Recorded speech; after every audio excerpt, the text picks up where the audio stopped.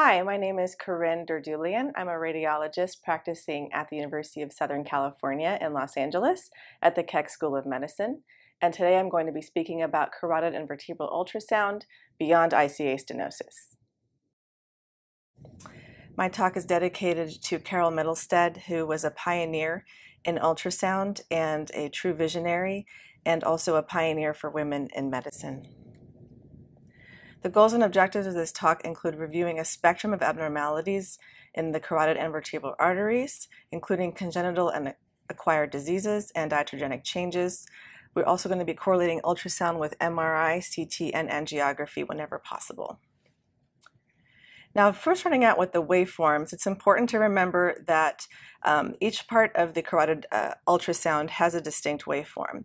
So the CCA, the common carotid artery, can have a very variable waveform appearance. It's typically a combination of a high resistance and low resistance waveform.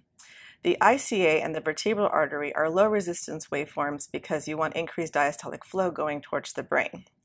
The ECA, because it's supplying the external part of the face and other structures and more superficial structures, um, has a high resistance waveform.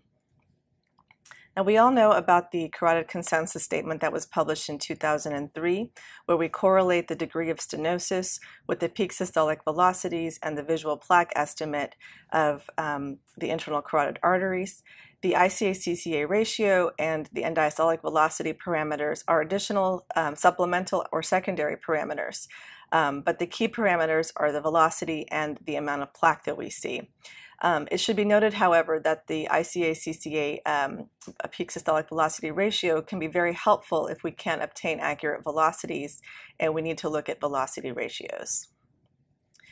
Now look carefully at this case. So here's a case of a longitudinal image. We have flow in the common carotid artery extending to the left carotid bulb.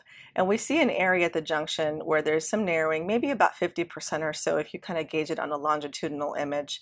And you have some color aliasing and indicating some turbulence. When you look at the ICA waveform, uh, you see that there's some delay in systolic upstroke, and this is shown as you know tardus parvus waveforms along the mid ICA and the distal ICA as well. And the peak systolic velocity is somewhere around 40. Now, it would be pretty unusual to think that it's so close to 50% stenosis would be causing this much of a tardus parvus waveform. So let's interrogate a little bit further.